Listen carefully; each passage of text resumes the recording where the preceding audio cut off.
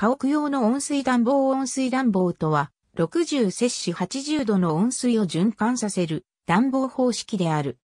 比熱の大きな水を大量に用いるため、温度が上がるまでに長い時間を要するものの、停止してからも暖房の効果が長続きする利点がある。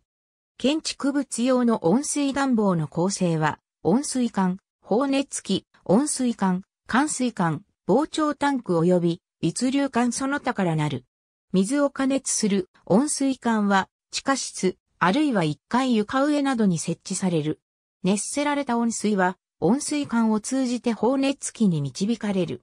放熱器は、室温を一定に保つために熱を放射する装置で、温められるべき室内に設置される。温水がその内部を流通する間に、その保有される熱が表面から室内に伝導される。換水管は放熱器で冷却された水を温水管に戻すための管である。膨張タンクは管に連結し、管の最高点よりも高く設置される。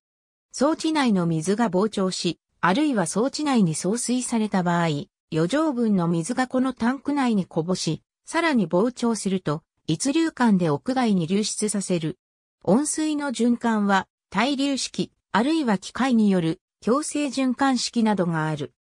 農業や科学分野では温室栽培の熱源として利用されている。